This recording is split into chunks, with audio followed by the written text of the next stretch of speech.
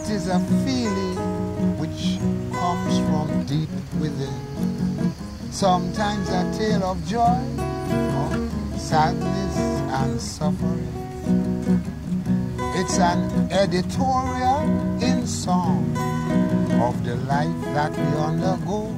That and only that I know. Israel Calypso. So you must admit there is nothing quite like it. From West Africa, they brought our forefather who used to toil as slaves in the fields all day. But while they did, they were singing their own love way about how Massa treat them bad. That's how Calypso began here in Trinidad. So it has a rhythm unto itself alone.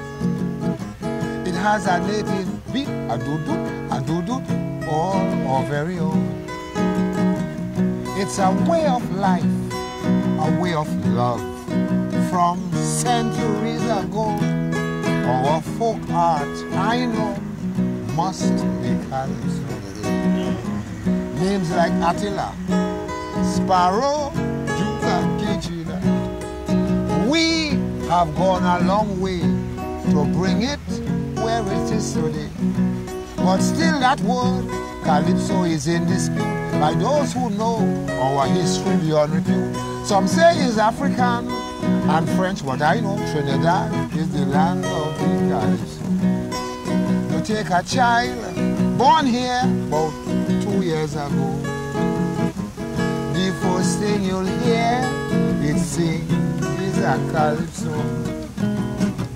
So we of what big nations wish they had. Calypso, calypso, calypso is the culture of Trinidad.